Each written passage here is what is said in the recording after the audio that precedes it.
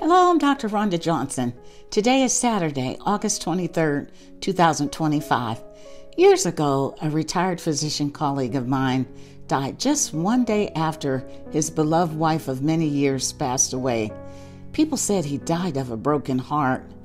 Believe it or not, that's more than a saying. See, when someone loses a loved one, the body can be flooded with stress hormones like adrenaline and this can make the heart's arteries spasm, just like a heart attack.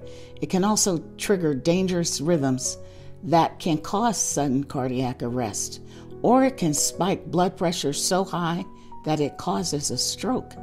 Doctors even have a name for it Takotsubo cardiomyopathy, or plainly broken heart syndrome.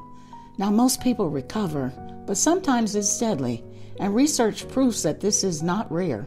A 2014 study of nearly 400,000 elderly couples found that when one spouse died, the other's risk of death jumped 66% in the first 90 days, with the greatest risk in the first 24 to 48 hours.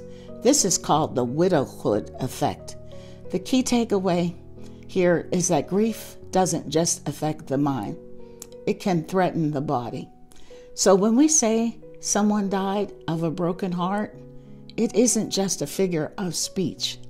The heart, the brain, and our closest relationships are deeply connected.